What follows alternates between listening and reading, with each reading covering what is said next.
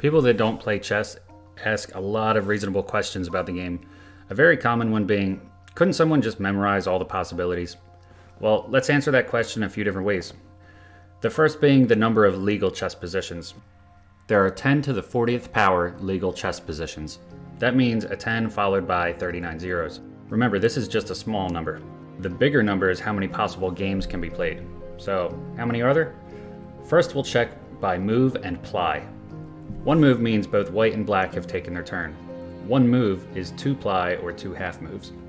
The start of a chess game has 16 pawn moves, 4 knight moves for white, and the same for black. 20 moves each gives us 400 total continuations. Move 2 has 197,281 possible continuations. By move 3, we have 119,060,324 continuations. And with move 4, we're already at 288 billion continuations. Believe it or not, we haven't even scratched the surface. To get to the total number of possible games, we have to check out mathematician Claude Shannon, also known as the father of information theory.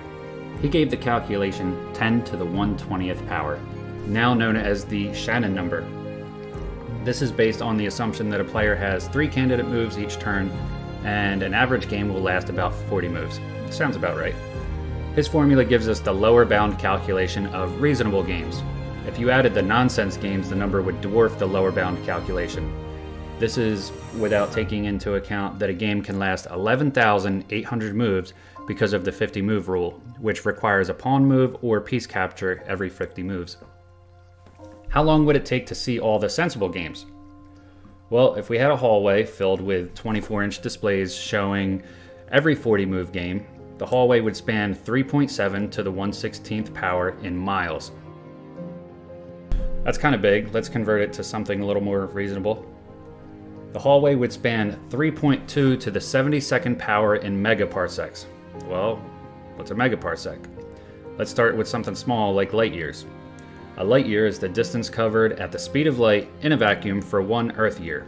So a light year is about 6 trillion miles. A parsec is 3.26 light years, or roughly 19 trillion miles. And finally, a megaparsec is 1 million parsecs, or roughly 19 quintillion miles. So our hallway of possible chess games would span 3.2 to the 72nd power multiplied by 19 quintillion miles. Let's say we're traveling at the speed of light. It's around 670 million miles per hour it would take us 6.4 to the 73rd nonillion years to see all the game possibilities. If you're wondering, a nonillion is 1 followed by 30 zeros. Our observable universe is 89,000 megaparsecs in circumference. The universe encompasses 200 trillion galaxies.